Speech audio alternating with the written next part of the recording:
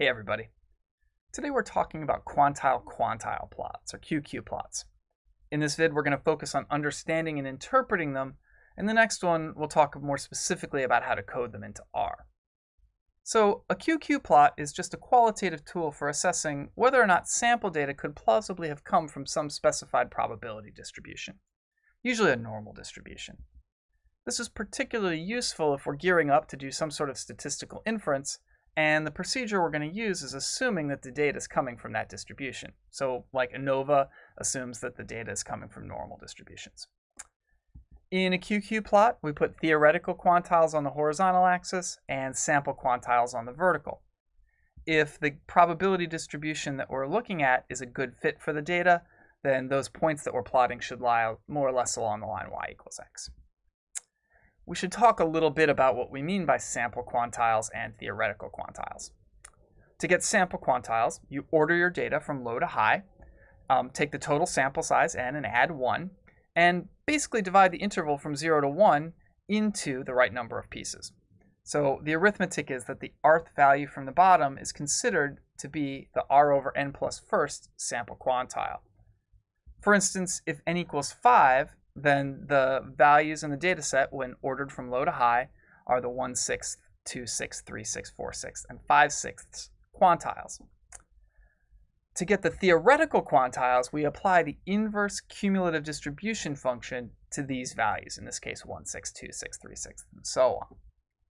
Let's, um, let's work through a really simple example to see how this works, and then look at a few qu actual quantile-quantile plots to determine how to interpret them. So here's five values, and we'd like to know whether or not they could plausibly come from a chi-squared distribution with four degrees of freedom.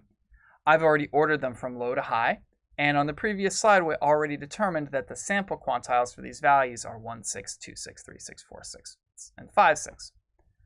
Then we're going to apply the inverse cumulative distribution function for chi-squared of 4 to these values. Here's the code that I used in R to get these numbers. It's a q chi-squared command.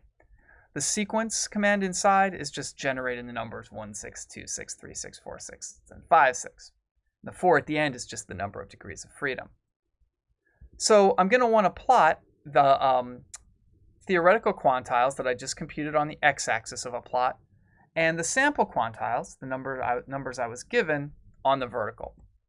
Here's what I get. I've also plotted the line y equals x. And here you can see that it's a reasonable fit for the data. So it seems plausible that this data were drawn from the distribution chi-squared of 4. Again, QQ plots are most often used to check for normality. And in that situation, you actually don't really need to think about um, which normal distribution you're looking at, what the parameters are. Because if the data is drawn from any normal distribution, if you plot the theoretical quantiles for n of 0, comma 1, mean of 0 and standard deviation of 1 on the horizontal axis, you should still get a linear shape, just with a different slope and intercept.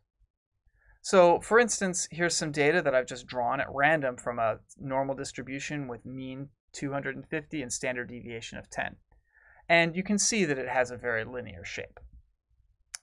So what does a QQ plot look like when we compare non-normal data? To n of 0 comma 1. I want to point out several notable possibilities. If the data is right skewed, then the QQ plot generally has an upward inflection, like we're seeing here. So um, in this example, I've drawn some data from a chi-squared distribution and um, then done a QQ plot comparing it to a normal distribution. And you can see that it rises upward from the, um, from the line at uh, both ends of the spectrum. By the same token, if the data is left skewed, the QQ plot tends to have a generally downward inflection. If the data is underdispersed, in other words, if it's squeezed in together more than in a normal distribution, then the QQ plot is going to have an S shape, kind of like I'm showing here. Notice that on the left end, it is above the, the sort of line of fit here, and on the right end, it is below it. Here again, I've drawn the data from a, a uniform distribution. Conversely, if the data is over-dispersed, like from a t-distribution, then the QQ plot is going to have the opposite inflection. So on the left end of this plot, the data is below the QQ line, and on the right end of the plot, the data is above the QQ line. Here I've drawn some data from a t-distribution with 2 degrees of freedom that has a much fatter tail than the normal distribution.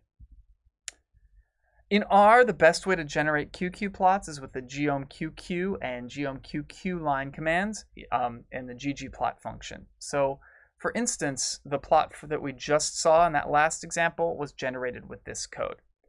In the um, in my next vid, I'll get into some more of the details for how to generate these for different distributions and under different circumstances.